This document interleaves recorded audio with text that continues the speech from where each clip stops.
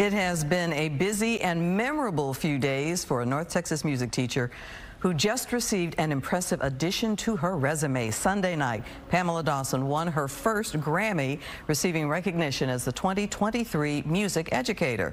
She learned of the news before the award ceremony and says it was a really tough secret, but she had to keep it. Fox 4's Dionne Anglin sat down with Dawson today. Dionne.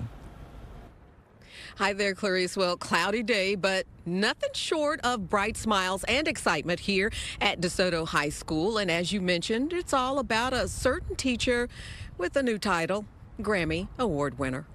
I have a Grammy now. And what does that mean? Okay. And eh, does it mean that I'm, I guess it means that I'm good at what I do?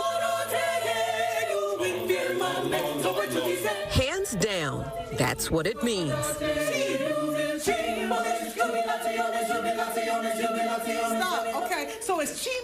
2023 Grammy Award winner Pamela Dawson is back in her DeSoto High School classroom three days after collecting the country's most prestigious award in music in the category of Music Educator. I ain't like it. Do it again. Do it again. Match. Sopranos, can I hear you by yourself? Dawson found out over a month ago she was a top 10 nominee.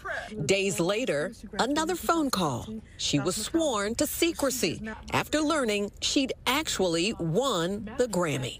Now I'm in my office. Can't the kids are out there and like you can't tell anyone. It's for my students.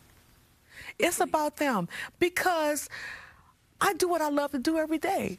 I give my passion, I give my music every day to these kids, and I want to inspire them.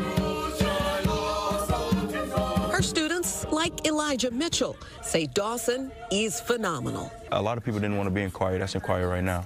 But she's taken, she's picked apart their brains and was like, this is, this is a, a good like a good program for you. She expects you to work, and I'm very thankful that she saw something in me to have me in her a cappella choir. Born and raised Detroit, Michigan.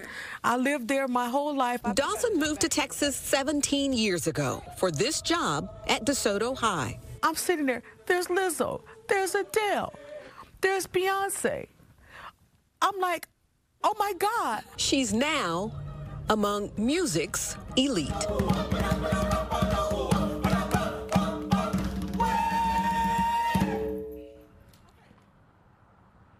Just awesome. Well, she does not actually have the award. She doesn't have the actual Grammy just yet.